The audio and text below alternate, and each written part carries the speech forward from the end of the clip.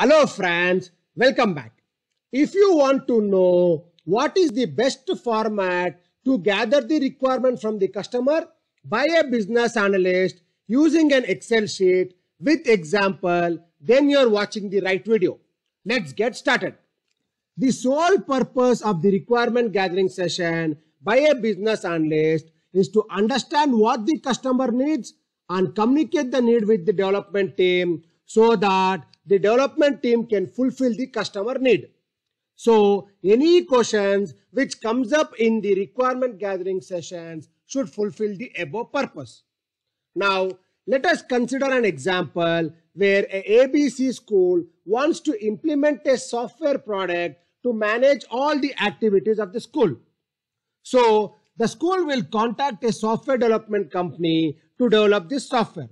Once the sales formalities is done between the school and the company, the business analyst from the company will start gathering the requirement from the customer. Now, first, let us understand what are the important information a business analyst should gather from the customer. Those information are what kind of product a customer needs, who are the potential users of the product, capability of each users in the product, number of users of the product, preferred coding language to build the product, delivery type. Now, to get all this information, a business analyst should ask a set of questions to the customer. So, let us see what are those questions and also the order of the questions. As you can see on the screen, the first best question a business analyst should ask to the customer is what kind of product you're looking for. The next question is who are the potential users of this product? Once you get the list of the users, then you pick up each user and try to get the information about the functionalities or the capabilities of that user. As you can see in our example, there are four users. That is student, teacher, parent and admin.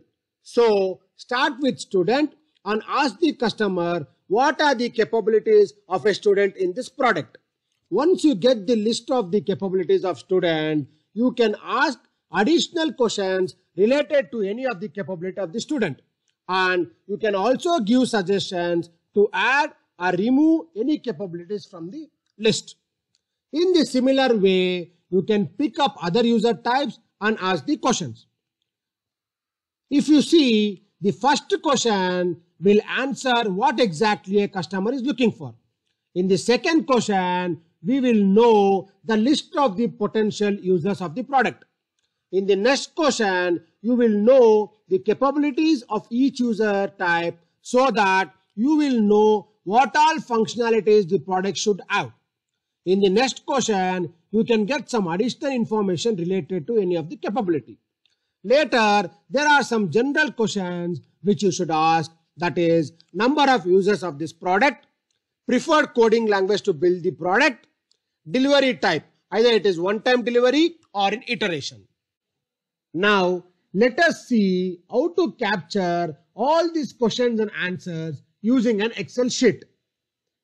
Friends, there are many requirement gathering templates used in the market, but I would suggest you to use the simplest template which I am going to show in this video because in Agile, anyway, we will be converting these requirements into epics and user stories in the later stage. As you can see, this is the Excel sheet.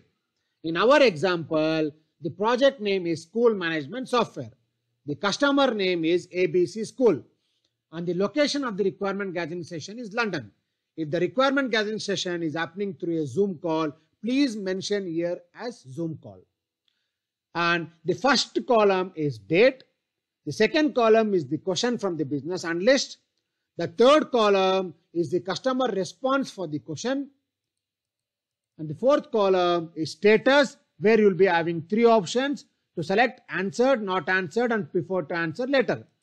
And the next column is comment and the last column is comment date. Since in our example, we are capturing requirement based on user type I have created different pages for different user types in the Excel sheet like student module, teachers module, parents module and admin module. Now let us go through the questions and answers of the student module. As you can see, the first question from a business analyst to the customer is what kind of solution you are looking for. The customer response here is I am looking for a software through which I can manage all the activities of the school. In the next column, that is status column, you can select answer from the drop down. The next question is who are the potential users for this product? The customer response for this question is students, teachers, parents, admin and management. Again in the status column you can select as answer. The next question is what capabilities will each of these users will have in the product? Can we start with students? So the customer response for this question is students should have capabilities like students should be able to log in and reset their password. They should be able to view class and exam timetable. They should be able to communicate with teachers or management through chat feature. They should be able to view and submit their homework or projects. They should be able to view their attendance. They should be able to view their exam results. Again, in the status column, you can select as answer. Now, all the other questions in the green cells are the questions seeking additional information or giving suggestions regarding the capability of the students like what is the preferred type of username a student should have. The customer response will be, I would prefer student email ID as a preferred username to login. Next, do you have any preferred steps which students has to go through to reset their password? The customer response will be, you should receive a password reset link to the email ID. Next, do you need to have a capability for students to download timetable, attendance and results? Yes, I need download capability. Do we need to have a capability where students can request for leave from the student model? The customer response is, no, I don't want student to request for leave from student model. Next, do we need to send a notification to student email ID when homework and results is uploaded by a teacher? Yes, I need. That is the customer response.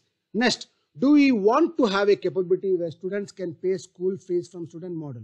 The customer response is, no, I don't want to have the payment capability in student model. Next, can I know how many students will use this software? Approximately 1000 students. What is the age limit of the students to use software? The customer response is 14 years.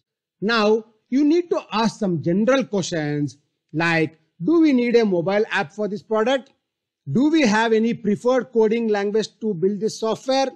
Do you want the entire product to be delivered at one time? What is the priority of the delivery? Please capture the customer response for these general questions. Now, there could be some circumstances where the customer wants to add something to the product.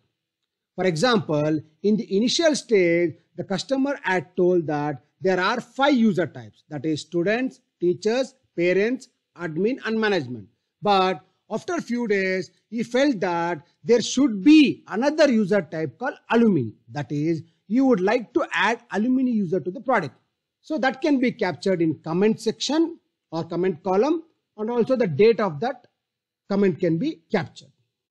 In similar way, please capture the requirement for other users in different pages of the Excel sheet like teachers module, parents module and admin module. Now, to understand how to convert the requirement into epics and user stories, please watch the related videos in my channel.